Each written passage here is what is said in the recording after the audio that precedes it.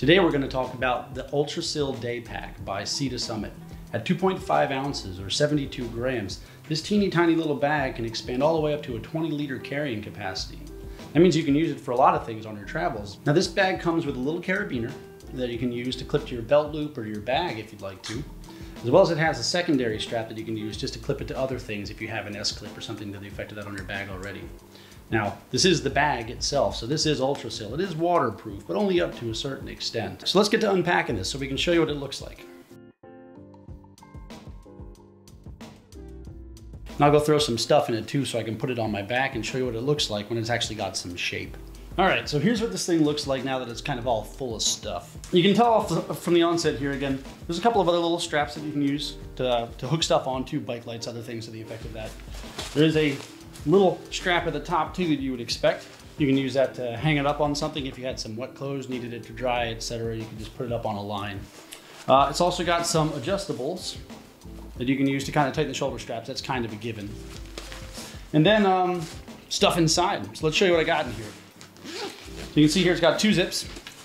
So the two zips actually allow us to open from the top rather than having to chase the zipper all the way to the side every time. And inside of here I've got an Aeros pillow, also by Sea to Summit. Got a bottle of water.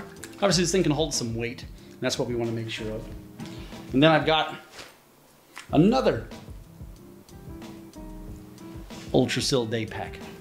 Bagception.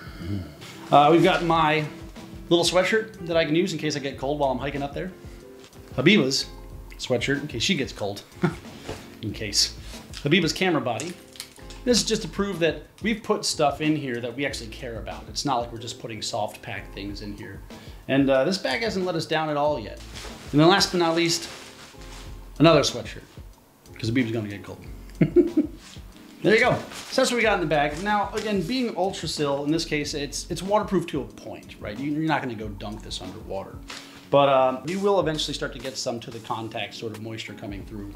So uh, if you needed to bring another day or another wet bag with you or something to the effect of that to put in here, if you're really gonna be going out in the rain, uh, that might not be a bad idea. All right, and with that, we'll pack this bag back up. Now, the little part of the bag that we're familiar with is actually on the inside of the bag.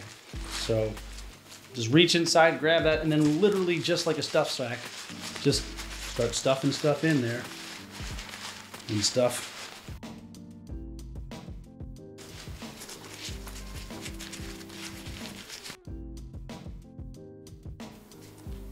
There you go. If you found this video to be helpful, please like, subscribe, and check out our channel for some other videos that you might find to be helpful. I'm Alex, and we are Trekking Pals.